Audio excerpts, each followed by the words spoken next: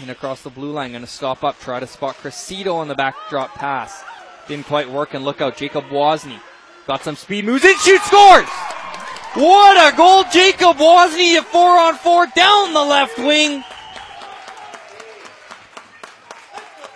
Picks the corner up and over the left shoulder of Cole McInnes. And the Richmond Sockeyes have regained their two goal lead. It's 3 1. That was a goal right out of the 80s. Slap shot down the rush, beats the goalie high over the almost glove. Look, almost looking like Stevie Y there coming down the wing. That slap shot, maybe not quite as uh, monumental.